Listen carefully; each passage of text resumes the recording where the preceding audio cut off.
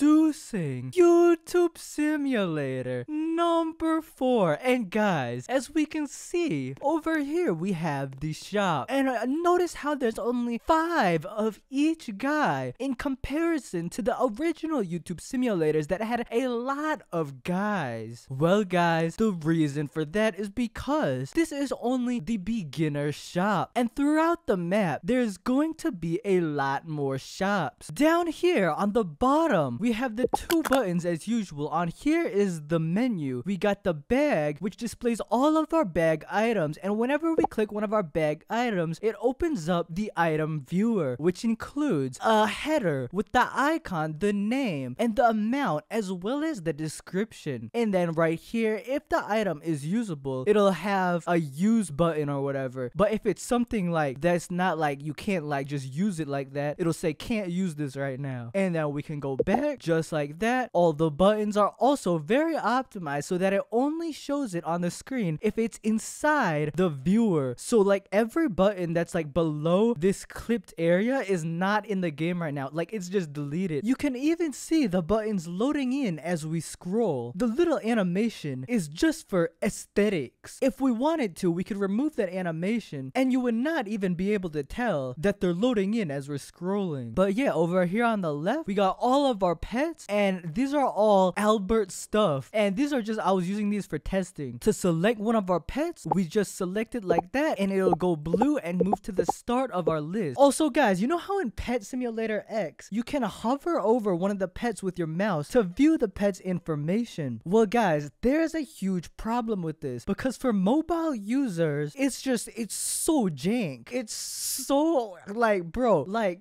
oh my god, let me, let me actually hop on the game super quick so I can, so I can look at this, bruh. Okay, so over here we got our pets. Okay, okay. And let's say we wanted to view its information. Okay, Lucky Cat Brownie. Okay, so guys, if we hover and then we take our finger off, it presses the button. Like, what the heck? Like, like, dude, how could you solve this? What would you do to solve this? So I've been thinking about that a little bit. And what I have in mind is a system for buttons on mobile devices. So here's what I'm thinking. You click the button to equip it. You click it and hold down for more than 0.3 seconds, it'll cancel the click and show the information. After that, you can let go of it and the information will still be on the screen when you're not holding down. The next time you press on the screen, it'll go away. So that's what I'm thinking for that. But anyways, when we equip our pets in YouTube Simulator 4, they are equipped and then they follow us around. And guys, this pet system, although it's similar to the one in YouTube Simulator Z and the recent game Buy My